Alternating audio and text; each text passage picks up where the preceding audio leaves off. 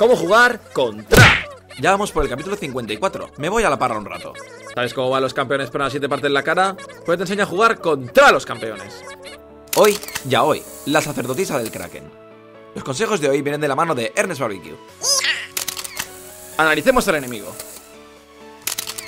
Vamos con sus puntos fuertes. Si te da con absolutamente todo es brutal, pero claro, te tiene que dar.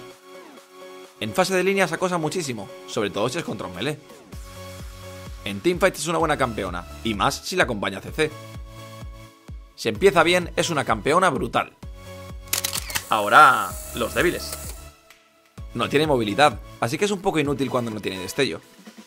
Dos habilidades son skill shots, que pueden ser la diferencia entre perder o ganar la pelea. Los tentáculos son aleatorios, todo lo que no puedes controlar en este juego no es tan bueno. Si empieza mal, no vale para mucho. Y por último, los consejos.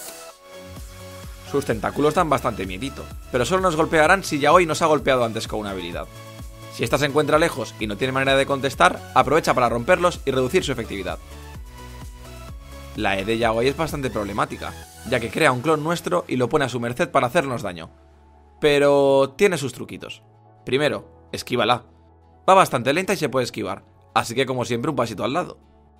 Si nos golpea con ella, crea el clon y tiene un rango. Si lo destruye o salimos de este, se crean tentáculos a nuestro alrededor durante un largo lapso de tiempo, o hasta que rompamos tres tentáculos. En el caso de que no podamos pelear con ella porque se encuentra muy por delante en línea, nos saldremos del rango y esperaremos a que nazcan tentáculos para poder romperlos. Si nos encontramos en posición de pelear, podemos pegarle mientras se golpea el clon, pero siempre de manera que no pueda pegarnos a nosotros y al clon a la vez, ya que nos destrozaría.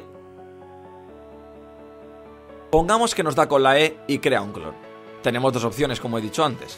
La primera es irte para atrás, o la segunda quizá es pelear. Si vemos que usa el clon y utiliza las habilidades para pegarle, es nuestro momento. No tiene nada que hacernos, así que castígale duro. Cuando utiliza su ultimate, creará un tentáculo por cada rival golpeado, además de que se cura con cada tentáculo que golpea, con lo cual es una barbaridad. Si utiliza la ulti, por mucho que estés en una buena posición, considera el irte corriendo, ya que una retirada a tiempo es una victoria. Esperamos a que se acabe y le pegamos. ¿Qué jugaremos contra ella hoy? Pues campeones que sean muy duros como Malfite o aquellos con movilidad y velocidad de ataque, como Irelia o Jax. Ya hoy ya ha sido contrarrestada. ¿Quieres saber jugar contra los campeones más molestos? Pronto más cómo jugar contra.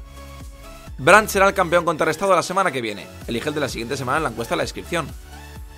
Si te ha gustado el vídeo, dale a me gusta. Y si tienes problemas con Graves, Jax o Veigar, no te pierdas los capítulos anteriores. ¡Hasta Dios!